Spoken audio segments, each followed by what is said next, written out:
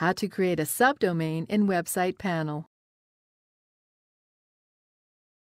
This tutorial assumes you are already logged into Website Panel. Now let's learn how to create a subdomain in Website Panel. Select the plan you want to add a subdomain to. Now, click Domains. On this screen, you can see your added domains, subdomains, and the number you have remaining. Click Add Domain. Select Subdomain. Enter a name for your subdomain.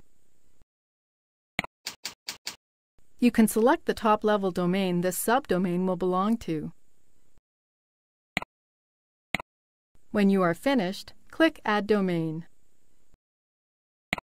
You can edit the subdomain you just added.